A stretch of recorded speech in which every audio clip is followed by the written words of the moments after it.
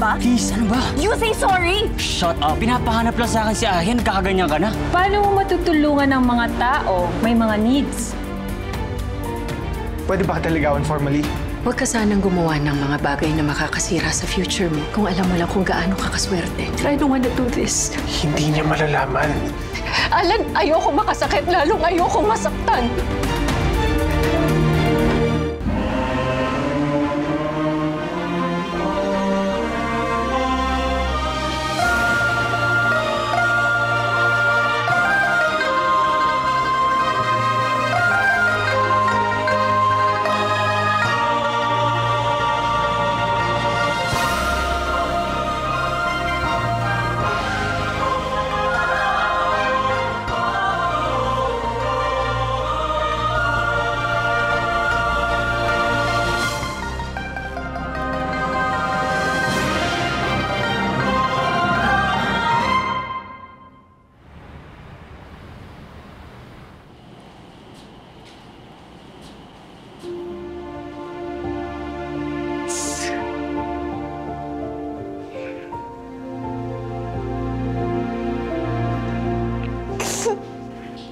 Sir Joseph, are you okay po?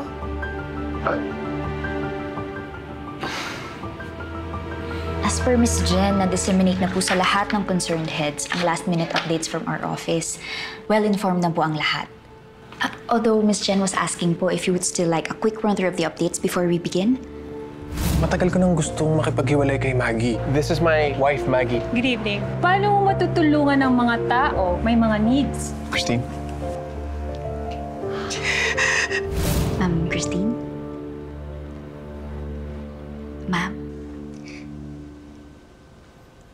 Ah, ano ulit?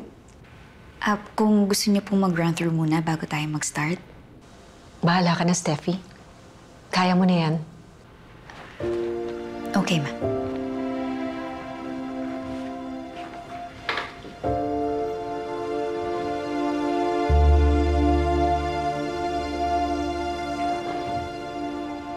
Of all of the general contractors whom we submitted the solicitation package to bid for the proposed project, the three lowest bidders are Omni Power Contractors, SBQ Alliance Contractors, and Orion Optra. Contractor 1 bids the project at 400 million to be finished in 8 to 12 months. Contractor 2 bids at 500 million to be done in 6 to 8 months. And contractor 3 bids the same price, 500 million pesos, in 7 to 9 months. All of them comply to the solicitation requirements and nearest to the approved agency estimate. Love it, love it, love it. Malamo ko lang na miserable yung buhay ni Christine buo ng araw ko. Alam mo, kung nakita mo itsura niya kanina, kikiligin ka sa saya. I wish I was there to see it happen.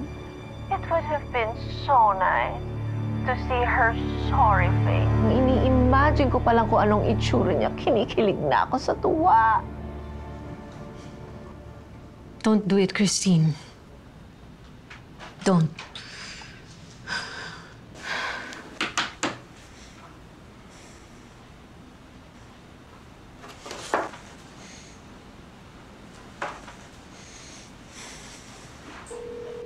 Hello? Hello? Pwede ba kita makausap? Ng personal. Kung po pwede lang naman. Yes, I'm available. Nandito lang ako sa bahay ngayon. Okay, pupunta ako ngayon dyan. Are you okay, Christine?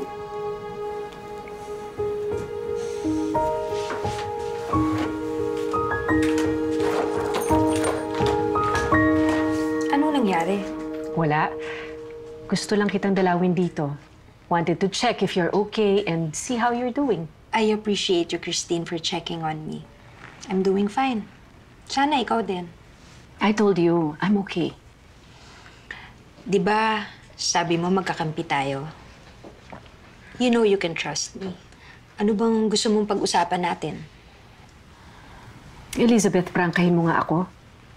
Anong naramdaman mo nung, nung nalaman mo na may ibang babae si Ahia? Mm, nasaktan. Betrayed, syempre.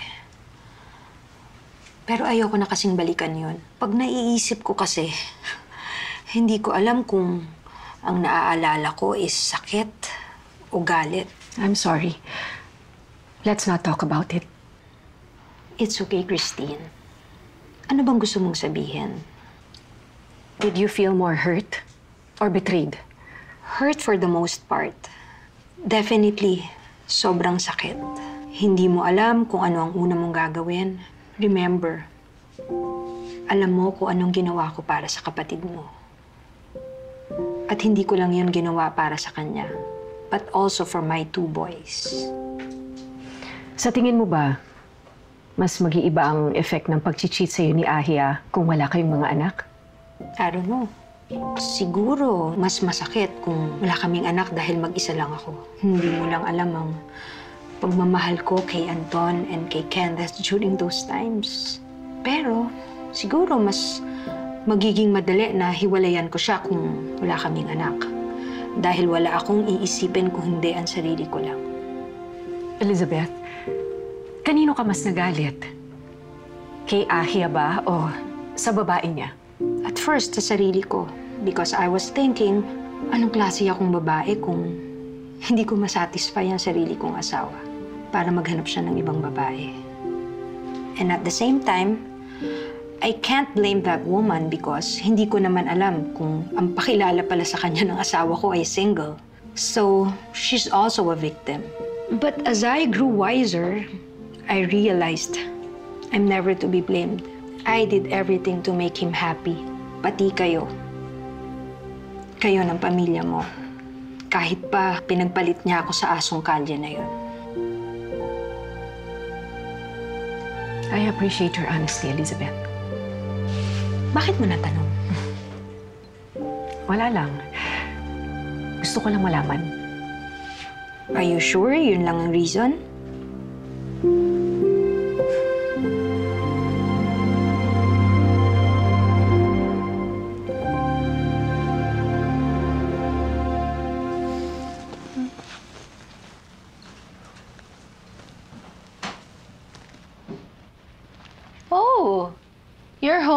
Early. Kumain ka na ba? Yeah.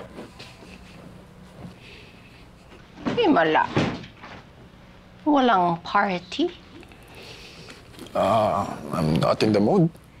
Yan talaga mga problema sa mga taong laging kinagawa yung gusto nila. Madali silang magsawa. Dami mo naman sinabi, ma. O bakit? Ikaw ba hindi ka pa nagsasawa sa pangungulekta mo ng, ano yun, mga yan? Of course not. Ito ang nagpapasaya sa akin. And it's an indication of how far I have reached. Impyerno kasi ang buhay ko noon, Jameson. Kapag mga punit na damit o kaya mga sirang sapatos, sinusuot ko pa rin yun. Pero ngayon, tingnan mo, we have everything that we want. Doesn't it mean na napunta ka lang sa ibang impyerno? Well, kung impyerno man ito, mas masarap pa rin ang kinakain ko dito kesa sa impyerno noon. Whatever.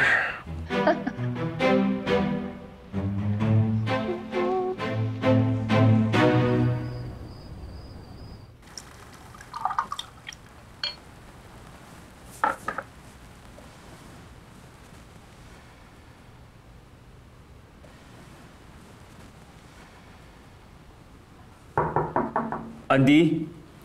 Andy, can we talk? Anton, pasok.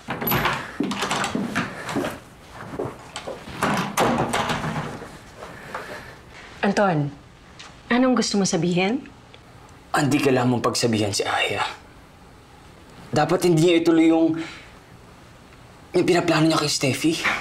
Anton! Here we are again. Bakit ba lagi mong pinagpipilitan na may namamagitan sa kanila? Nakausap ko si Joseph. Wala naman siyang binabanggit na ganyan. Eh, siyempre, Auntie, hindi siya sasabihin totoo, di ba? Kasi pag sinabi niya sa'yo, alam niyang pagbabawalan mo siya. Kung ano man ang meron sila, hanggang wala silang ginagawang masama, it's none of our business.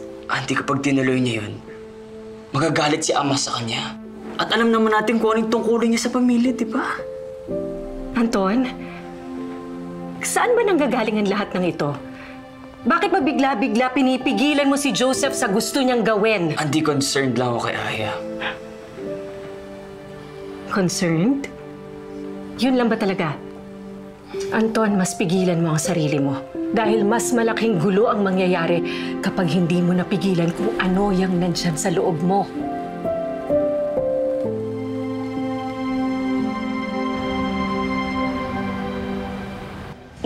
Niya sa'yo na niligawan ka niya? Oo. Tinanong niya kung pwede daw ba siyang manligaw formally. Anong sinagot mo? Hindi naman niya ako pinilit sumagot agad. Tsaka ang sabi ko sa kanya, ayoko masira yung professional relationship namin. And, hindi naman yung kasama sa priorities ko ngayon. Bes, nasa sa'yo naman yan kung gusto mo siyang i-entertain. Pareho naman kayong single.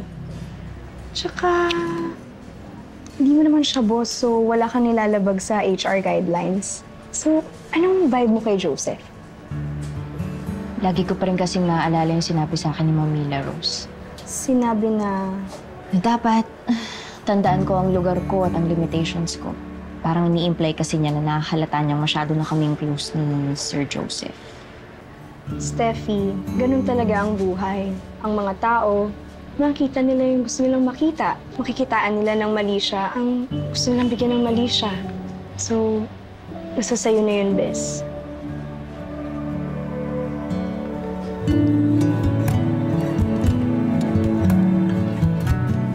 Special delivery. Fides, uh, one for you and one for Auntie. Ah, thank you, Pwede na sa kanya.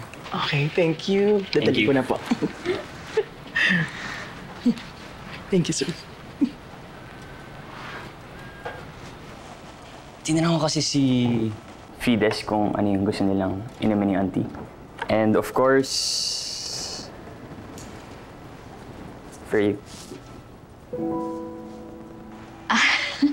Ako, sir, nag-abala pa po kayo. Bakit po may palibre?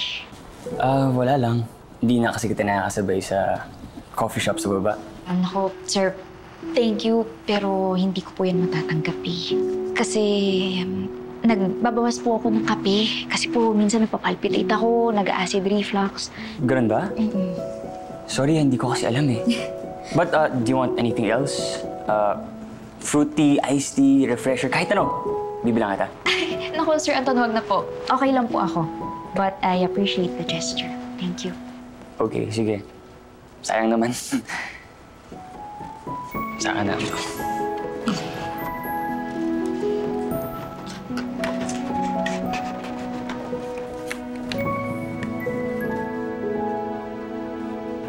Ah, Pwede ba kitang makausap?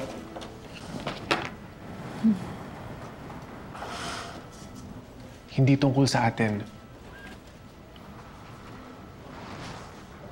Sabihin mo na, may meeting pa ako. Hindi sa din-discredit ko si Steffi, ah. Magaling siya, asset siya sa company, pero masyado na yata nagiging close yung mga pamangkin mo sa kanya. Matalinong bata yon. Alam niya ang tama sa mali. Yes, exactly. That's why she can't get distracted. Lalo na't kailangan natin siya to work efficiently for our side. Alan, wag mo siyang i-compare kay... sa ibang tao. I trust her. And that's more than enough. Hello, Philip. May news ka ba that will make my day? Ang sama ng tingin ng marami dyan sa Stephanie, Ana. But I think she's clueless. May kagagahan na ba siyang nagawa? I don't know kung kagagahan ba yon o merong hidden motivations. Akalain mo yun? She's entertaining the two Chan boys. That Binondo girl. And those boys, ha? Magkaiba nga sila ng nanay pero pareho silang napapaikot ng isang pinanganak sa estero. What a nerve! Do you like this brewing saga? Actually, it's kind of boring. Ang kabobohan nila ang nagpapabagsak sa kanila. Wala na ba akong matalinong kalaban? I'm so disappointed. Careful what you wish for, Valerie. You know what I wish for? Yung magpapabuhay sa dugo ko. Yung kasing nagpapa-excite lang sa akin yung mga matatalinong kalaban. And alam mo naman, yung mga bubwit na kalaban, walang excitement yan sa gutom na pusa. How are you, Kenneth? I told you mag enjoy tayo sa stay natin here sa Philippines. Sinong mas nagsuspoil sa'yo sa mansion? Si Auntie Christine or si Ama? Same lang, Mom. Sigurado ako mas may lamang and I'm sure it's Ama. Don't you think? Malay mo sa next birthday mo.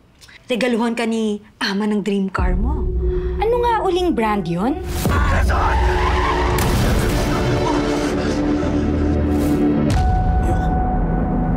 Ayoko ng car. Di ba nagjo-joke pa nga tayo pag uwi mo, lalambingin mo si Ama for a new car? Oh, I remember it. It's TRG. I don't like cars anymore. Kung sa bagay, when I was your age, paiba-iba din ako ng hobbies. What about your talent in photography? Napakita mo na ba sa kanila ang galing mo in taking photos?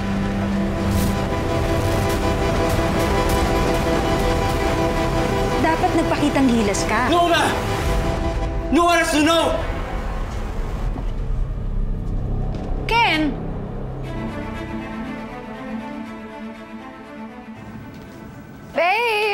I got you something. You're gonna love this.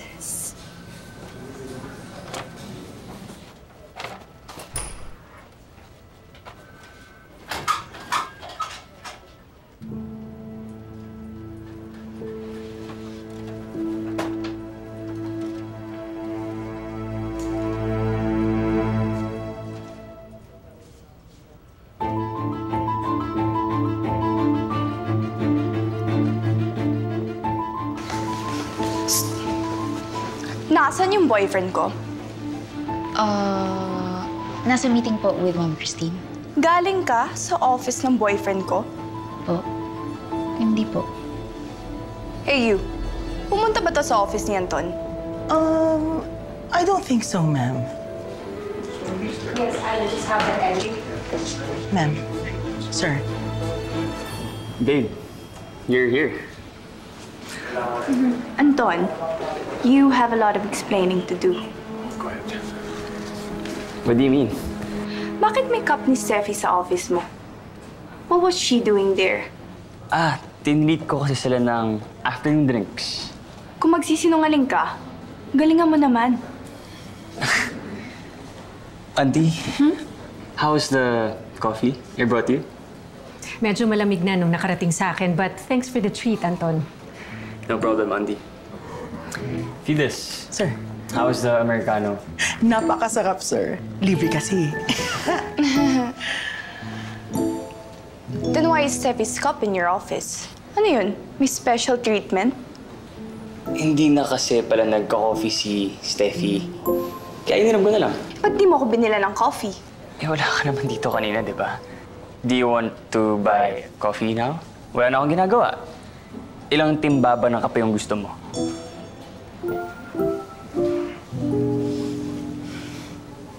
Let's go.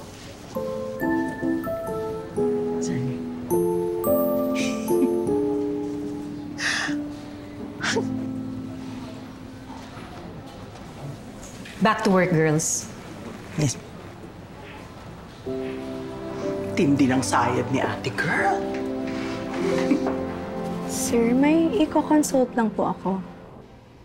Bakit doktor ba ako para mag-consult? May mga documents po kasing kailangan pirmahan si Sir Jameson. Kaso absent po siya. Kailangan na din po kasi ito ni Sir Yatko. Sabi na ako pipirma. Name under Sir Jameson po ito. Gagawa na lang ba po akong draft na kayo po mag approve Si Jameson lang ang merong approving power nito. Paano po kaya to? Ipapa-deliver ko na lang po ba sa kanya para pirmahan niya or... Well, huwag mo nang hanapin ang wala.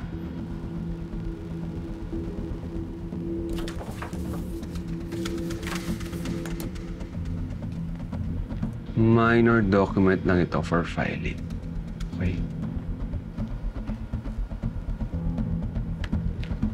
So, ipadala mo na to kayaan ko. Okay, sir. Noted po. Thank you po.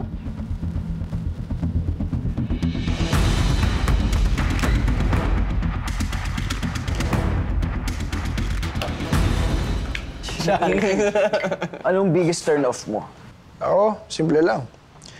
Ayoko yung girl na masyadong willing. Yung bigay hilig ka agad. Wait, ayaw mo ng willing? Meaning, gusto mong pinipwersa pang babae? No, no, no, no, no. I mean, ayoko nung sa umpisa pa lang, patay na patay na agad sa'yo. Masaya kasi kapag may naghihirapan eh. So gusto mo nga na may force equation? Sira ulo. Gusto ko yung may challenge. To challenge. To challenge. Challenge!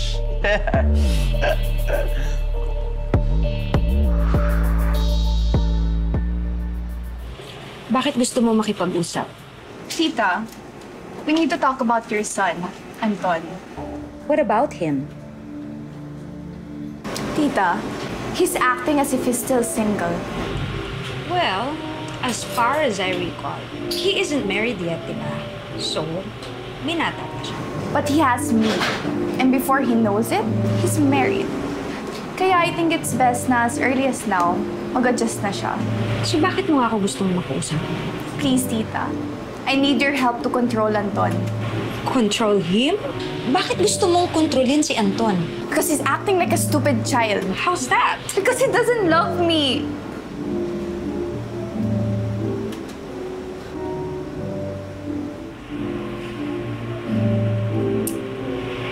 Not hard to believe that.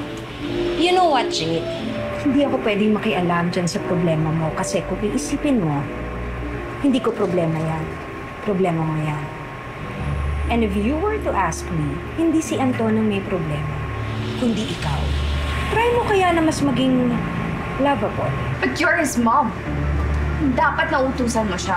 Yes, I am his mother, pero may sariling pag-iisip ang anak ko. And I respect that. Hindi ko problema yan.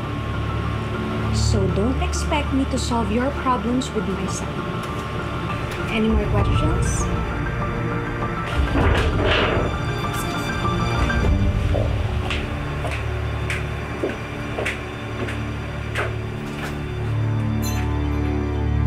Anton, kailangan nating mag-usap. Okay. It's about Kenneth. What about him, ma? I know something's wrong with him. Napapansin ko na nag-iiba siya. I'm sorry I know hindi mo to nahahalata kasi hindi mo siya masyadong kilala. Pero alam ko na may mali. At ayaw niyang magsalita. Siguro nga. Actually, napapansin ko rin yun, May. Parang, parang may mali eh. It's like something's bothering him. Kung hindi siya nakakulong sa kwarto, nakatulala o magugulatin. Find out what's wrong with Kenneth, please.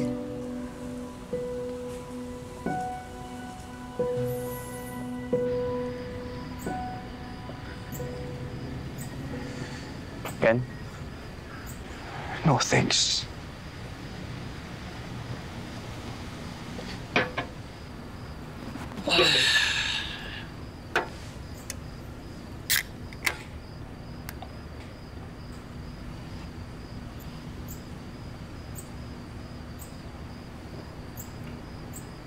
Ken, okay ka lang ba?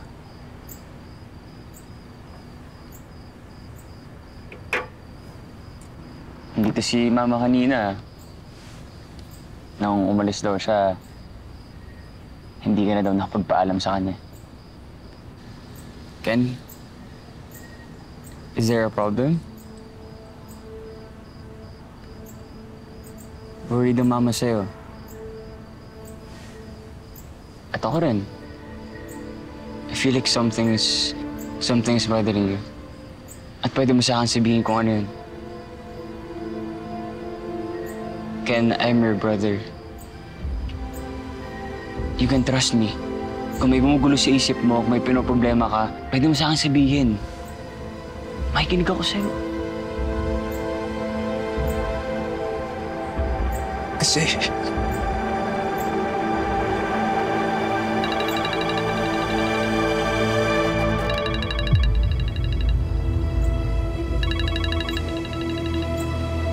Sino yan?